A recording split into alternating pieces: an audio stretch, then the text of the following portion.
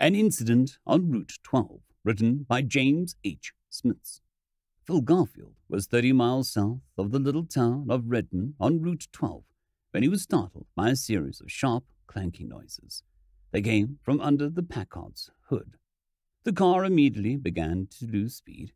Garfield jammed down the accelerator, had a sense of sick helplessness at the complete lack of response from the motor. The Packard rolled on, getting rid of its momentum, and came to a stop. Phil Garfield swore shakily. He checked his watch, switched off the headlights, and climbed out in the dark road. A delay of even half an hour here might be disastrous. It was past midnight, and he had another hundred and ten miles to cover to reach the small private airfield where Madge waited for him and the $30,000 in the suitcase on the Packard's front seat. If he didn't make it before daylight, he thought of the bank guard. The man had made clumsy play at being a hero, and that had set off the foul woman who'd run screaming into their line of fire. One dead, perhaps two. Garfield hadn't stopped to look at an evening paper. But he knew they were hunting for him. He glanced up and down the road. No other headlights in sight at the moment, no light from the building showing on the forested hills. He reached back into the car and brought out the suitcase, his gun, a big flashlight, and a box of shells which had been standing beside the suitcase. He broke the box open, shoved a handful of shells and the 38 into his coat pocket, then took the suitcase and flashlight over to the shoulder of the road and set them down. There was no point in groping about under the Packard's hood. When it came to mechanics, Phil Garfield was a moron and well aware of it. The car was useless to him now, except as bait. But as bait, it might be very useful. Should he leave it standing where it was? No, Garfield decided. To anybody driving past, it would merely suggest a necking party or a drunk sleeping off his load before continuing home. He might have to wait an hour or more before someone decided to stop. He didn't have the time. He reached in through the window, hauled up the top of the steering wheel towards him, and pulled his weight against the rear window frame. The Packard began to move slowly backwards, at a slant across the road.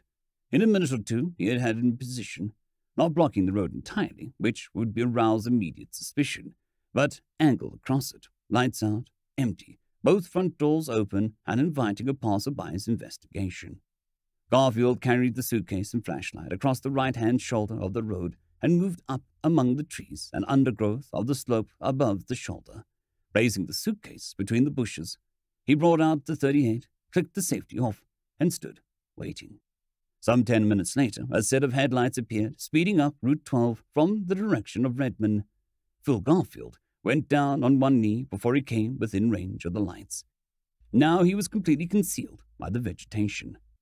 The car slowed as it approached, braking nearly to a stop sixty feet from the stalled Packard. There were several people inside it. Garfield heard voices, then a woman's loud laugh. The driver tapped his horn inquiringly twice, moved the car slowly forward. As the headlights went past him, Garfield got to his feet amongst the bushes, took a step down towards the road, raising the gun.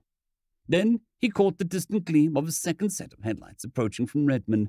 He swore under his breath and dropped back out of sight. The car below him reached the Packard, edging cautiously around it, rolled on with a sudden roar of acceleration. The second car stopped when still a hundred yards away. The Packard caught in motionless glare of its lights. Garfield heard the steady purring of a powerful motor. For almost a minute, nothing else happened. Then the car came gliding smoothly on, stopped again no more than thirty feet to Garfield's left.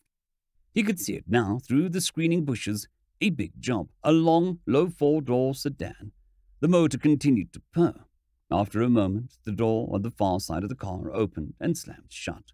A man walked quickly out into the beam of the headlights and started towards the Packard. Phil Garfield rose from his crouched position, the 38 in his right hand, flashlight in his left. If the driver was alone, the thing was now cinched.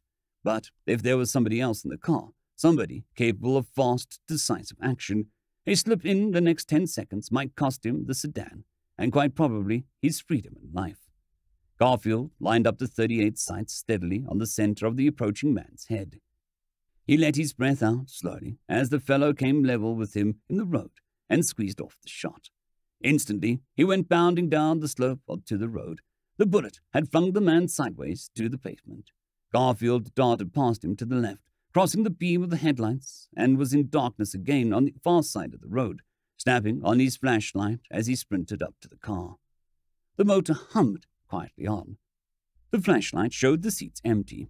Garfield dropped the light, jerked both doors open in turn, gun pointing into the car's interior.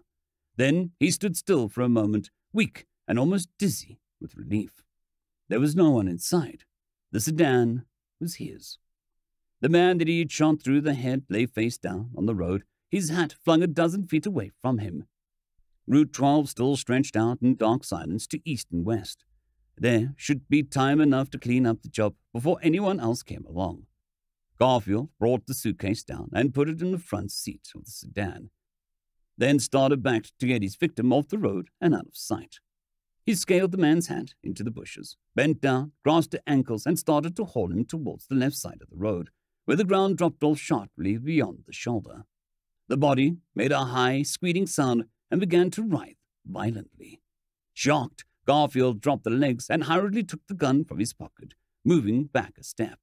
The squealing noise rose in intensity as the wounded man quickly flopped over twice like a struggling fish, arms and legs sawing about with startling energy. Garfield clicked off the safety, pumped three shots into his victim's back.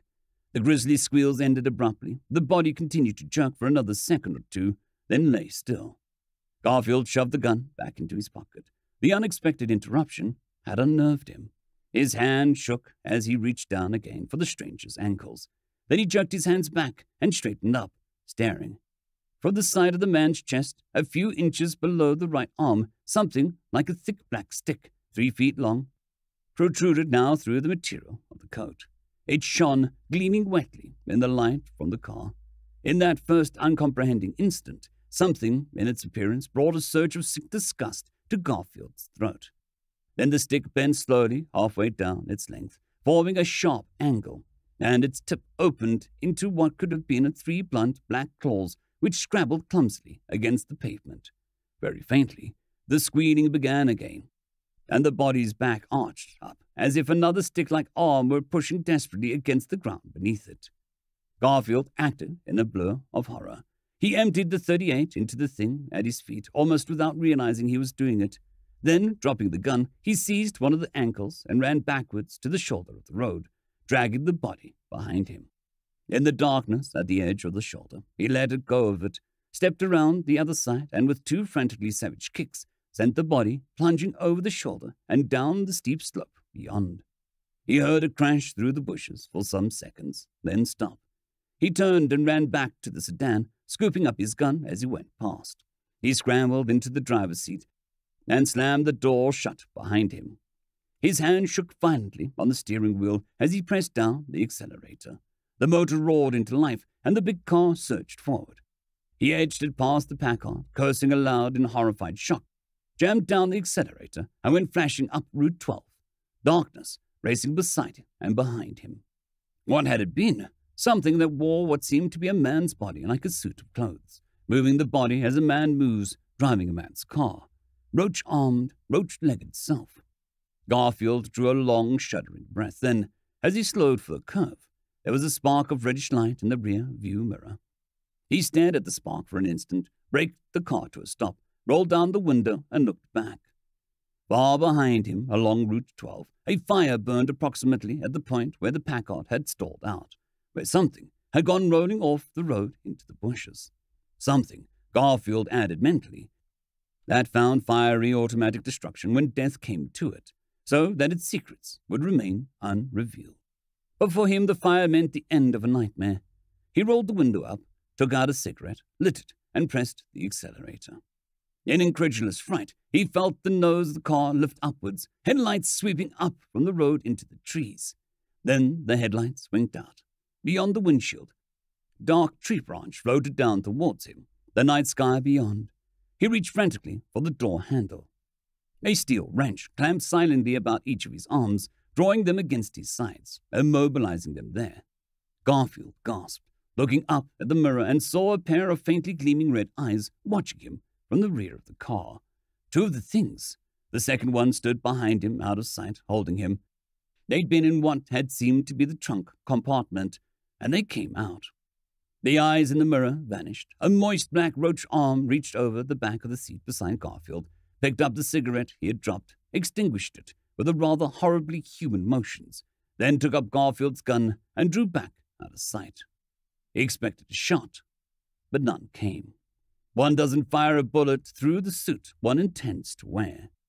It wasn't until that thought occurred to him that tough Phil Garfield began to scream. He was still screaming minutes later when, beyond the windshield, the spaceship floated into view amongst the stars. End of story.